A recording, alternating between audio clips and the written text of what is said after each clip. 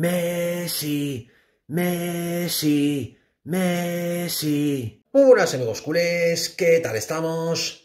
La guerra que declaró el jeque a Messi tras rechazar su oferta de renovación para volver al Barcelona sigue dando mucho que hablar.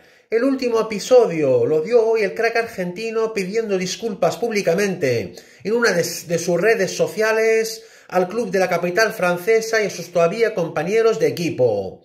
Atención a esta noticia bomba de última hora.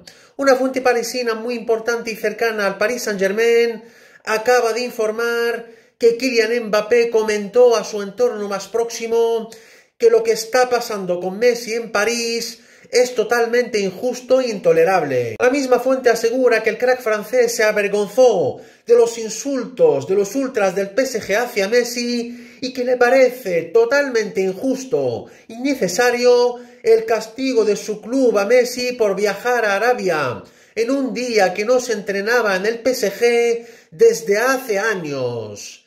Esta ha sido mi grandísima noticia de hoy, amigos culés.